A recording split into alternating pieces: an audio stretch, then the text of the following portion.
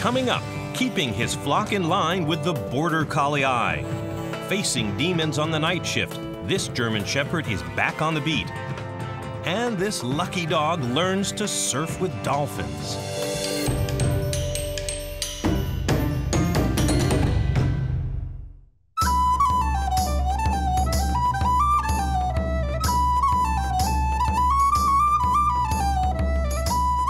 Romantic poet William Wordsworth immortalized the rugged beauty of the Lake District, home to many flocks of sheep and sheepdogs.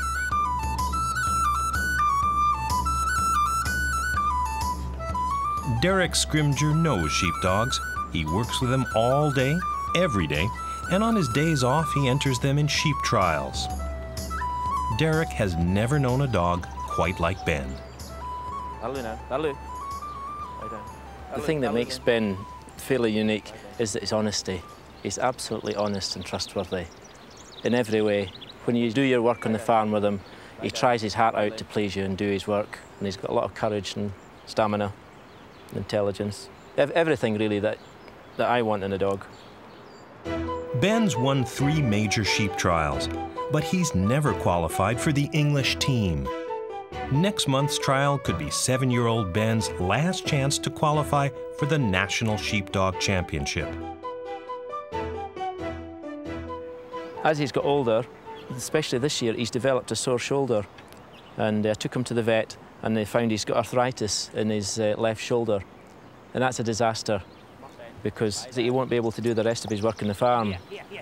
It's definitely the last year for work in the fells. And he's in pain, which is, is really sort of upsetting. Uh, so I've got to be really careful. But uh, from competition, my big hopes for Ben were to run him at the national.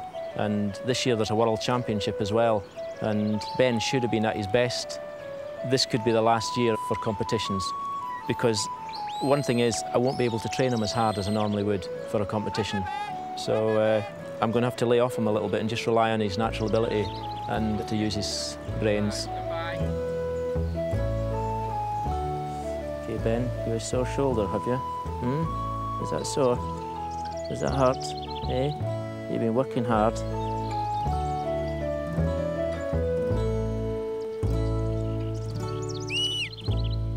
Derek got Ben when he was three years old. Four previous owners couldn't handle Ben's excessive enthusiasm. Dogs are like people, like they have all different temperaments, and some dogs are sneaky there's other dogs that like to bite sheep and they look for every opportunity to bite them. Well, these dogs are no good to us. Whereas Ben, he wants to move sheep, he's got the authority, he wants to be in control, but he never wants to be unkind to anything. So he, he will bite a sheep, but only as a last resort in self-defence or in an effort to move it. Come on there.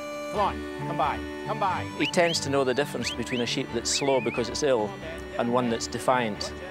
And a sheep that's slow and ill, he gives it lots of time. Whereas a sheep that's defiant, he'll step right up and confront it and show his authority. Come on, Ben. Come on, Ben. Get up. Come on, Ben. Come on, Ben. Get up. Come on. Shaha. Come on. Ha. Good lad. Good lad. Good lad. Come on, Ben. Get up.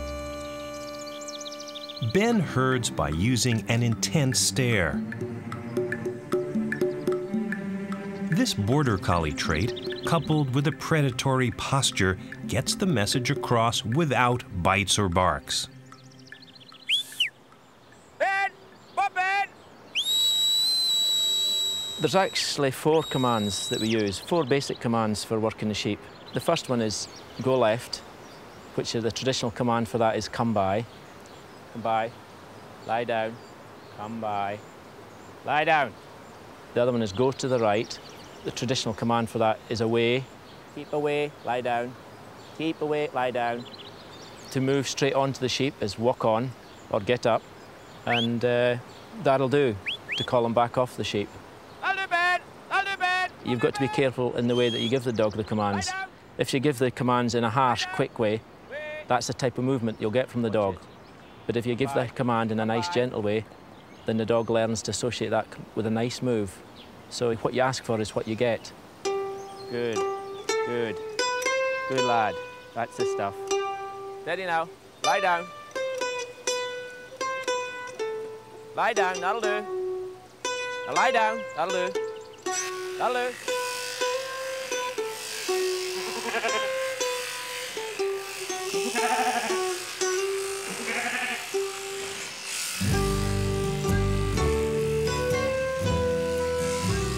I think this could be Ben's last chance to do anything major in competition just because of his arthritis.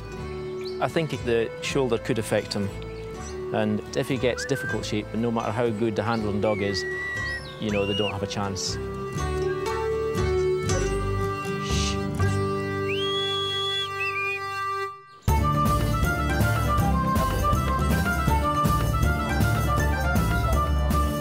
It's the English National Sheepdog Trials. There are 150 contenders, but only 15 dogs will be winners. Will Ben be among them? Well, I'm feeling a little bit nervous just now. I've already watched some big names fall by the wayside, and uh, Ben's a dog that gets nervous. If he realises I'm nervous, he gets nervous, so I've shut him away in the car. Before I go to get him out, I have to get myself under control and get a clear head and a clear, clear brain so I don't sort of pass it on to Ben when I take him out. Planes in her day-to-day work. But there we go. Number 30 next in the programme, Derek Scrimger. Derek Scrimger with his seven-year-old uh, Ben. One of the things that worries me today is Ben, he's been drawn in the middle of the day, and it's a warm day, and uh, it could affect his stamina. Come by. Good lad. Ben, lie down. Good boy. Come on, Ben. Shh, come up, Ben. Walk on. Walk on, Ben. Lie down. In the course, Ben has to fetch, drive, and separate the sheep. Come in here, Ben. I'll do this, this. Watch it. Good lass. Good. Lie down. Penning the sheep is the biggest challenge for Ben. The sheep are stubborn. Lie down.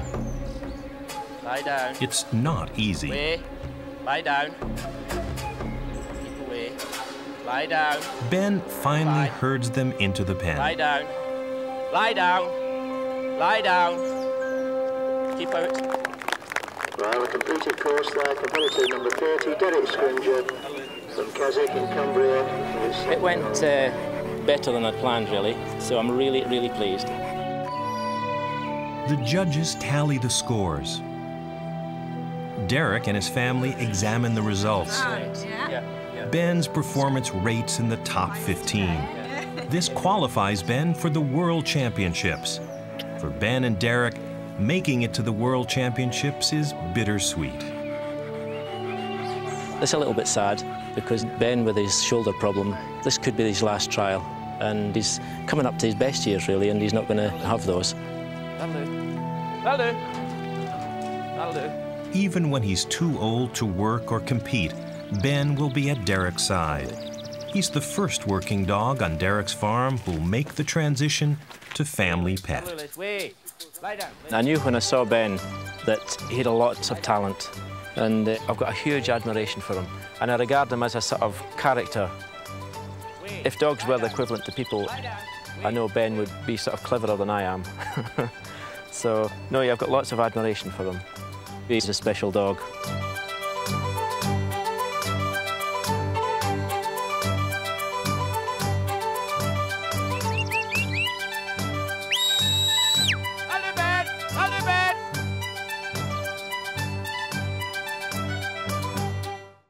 I think that's an interesting thing.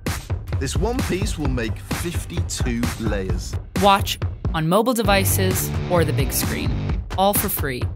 No subscription required. Download Veely now. South Seattle Police and Fire 19. Yeah, I need um, um, the police. Frank Sector, family disturbance with a gun and a knife involved. Any other Frank A year and a half ago, Officer Mike Meter and Jonah responded to a routine call. He's got a blue jacket on.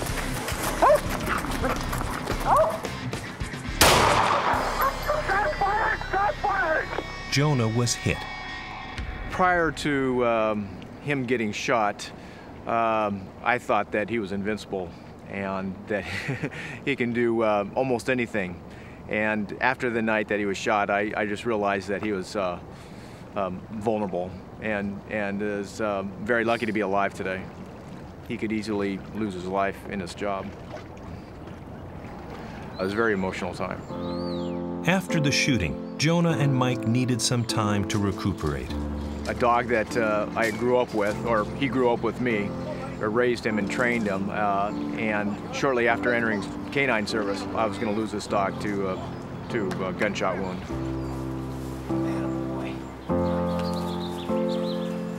So he's in a sense they're two different dogs. Uh, when uh, uh, when he gets in the car, he knows it's business time, and when he comes home, he he gets excited coming home too because he sees the other two dogs and uh, he gets to eat and uh, then uh, lays around the house and relaxes till he has to do it again the next day. As members of the Seattle Police Department's canine unit, the night of the shooting haunts Jonah and Mike every time they go to work. I'm just more protective of him, um, just a little bit more cautious of what uh, I use him for. I rely on him, and he relies on me to uh, watch each other's back, so to speak. At the station, Jonah meets up with his canine colleagues. German Shepherds make excellent police dogs because they're strong, smart, and highly trainable. Every shift starts with obedience training. John Emmerich is Jonah's evening supervisor. the dog's attitude. He's got uh, he's got a wonderful personality. He's got high drive for the work. He's good with kids and people, family. Mike reflects on Jonah's behavior since he was shot. I think he changed and became a lot more excitable. Not that we really need it. He uh, barks a lot, barks at everything, almost doesn't shut up, and uh, that's uh, what he's known for, just always talking, barking at everybody. His supervisor agrees. Uh, Jonah's a very high-strung dog, high-energy dog, and he's got a wonderful attitude. Unless you're a bad guy, you don't want to be on the tail end of of uh, Jonah. Police dogs train constantly.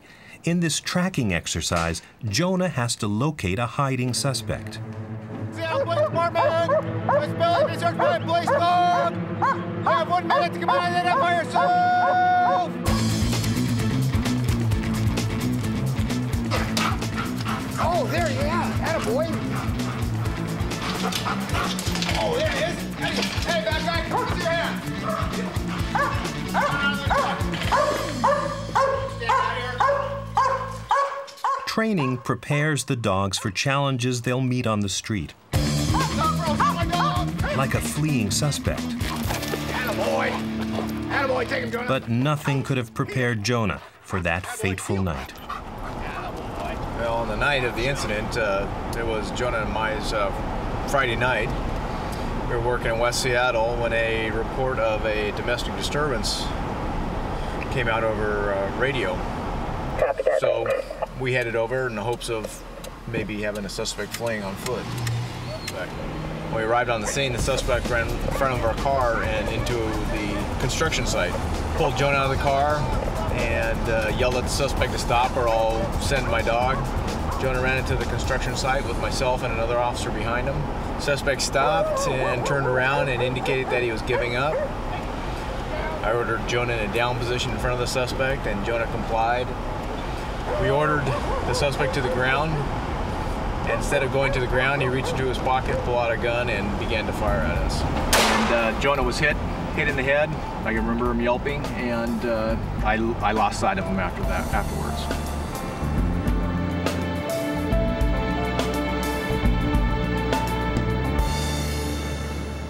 My biggest fear at that point was we were in a construction site. It was kind of muddy, and uh, my biggest fear was finding him lying in, a, in a, actually a puddle of water or mud, lying dead.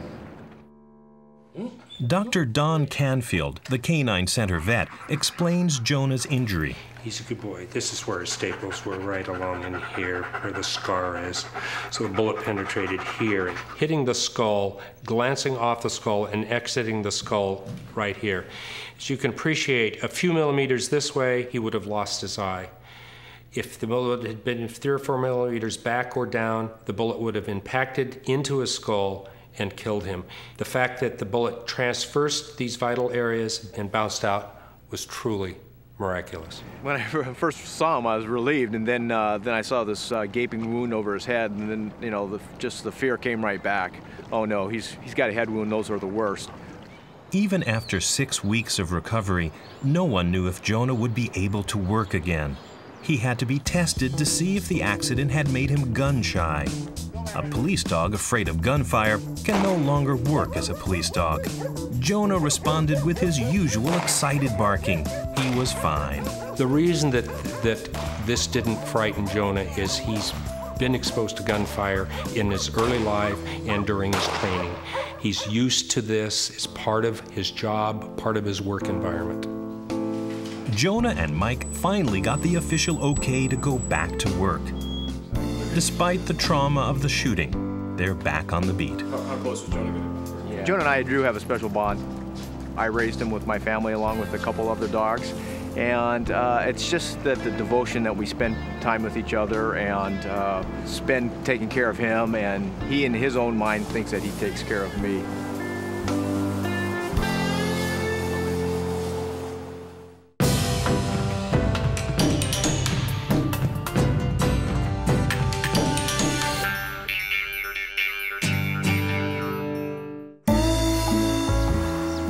Waikoloa, Hawaii, tucked away in a natural lagoon, is the Dolphin Quest Resort. where Guests come for hands-on learning with dolphins. Koby is one of the resort's star employees. He loves the dolphins and recently started performing with a new partner, Kaloe. They need more practice to be ready for tomorrow's demo. Koby's owner is Andrew Scullion, Dolphin Quest is a marine mammal learning center. Here's a little anatomy lesson, okay? You guys see that little dot? At Dolphin Quest, children, adults, and school groups learn about dolphins through interactive programs.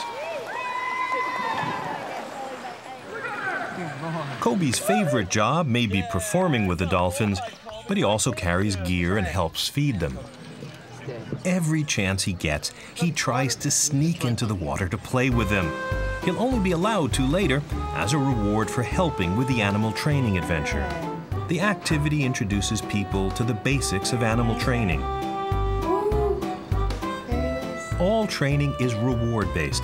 Koby knows that if he listens and responds to the guests' commands, he'll get to play with the dolphins. Is a good boy? Very nice. They get to do hands-on with Koby and see how some of the behavioral theory we apply to the dolphins works with any animal, including dogs. We brought him outside just for fun to see how the dolphins as well as Koby would react, and he seemed to have a knack with them. He was very gentle with the dolphins, and the dolphins seemed very gentle with him. The dolphins seemed to enjoy it. Koby did. Hi. Hi. When Koby is in the water, he's always closely supervised. Direct contact could be dangerous for both the dolphins and Koby the dolphins, you know, just like any animal, um, they have minds of their own and they're unpredictable. So when we do go out there, there's a, a tinge of uh, danger involved. You have a 400 to 500 pound animal with Koby only weighing 65 pounds. Not only that, Koby has sharp claws. The animal's skin is very, very sensitive and smooth. Um, we don't want the claws to get near the dolphin or the dolphin's tails to get near Koby. Safety is our top priority for all the animals. Koby is learning to let a dolphin push him on a surfboard. He practices with Andrew first. Tomorrow, he'll demonstrate it for the guests.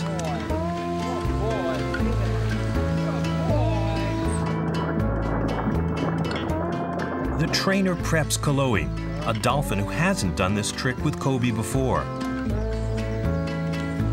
she'll take some getting used to since she'll push him at a different speed and strength than his old partner.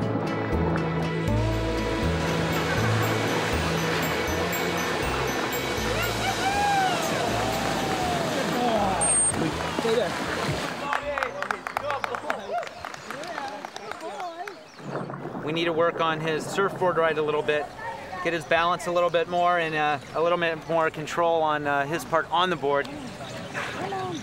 But when Andrew's not there, Koby gets distracted by Kaloe.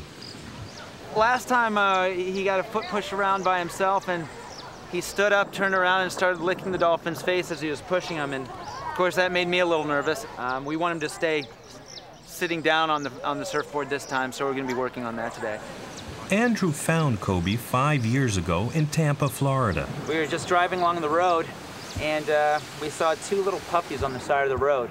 So of course we stopped and picked them up and they're both just real tiny things. And I kept Koby and a friend of mine kept his brother, Charlie, who's still in Florida. And uh, we've been together ever since. Koby is part Labrador and part Pit Bull.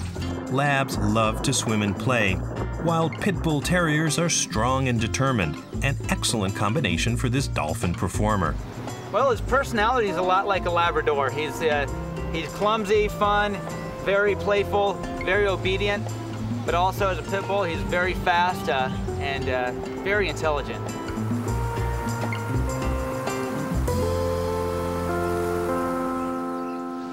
Today is Koby's surfboarding demo. Stephanie, can you go a little bit shallower? When Kaloe pushes him, he has to keep his balance and face forward.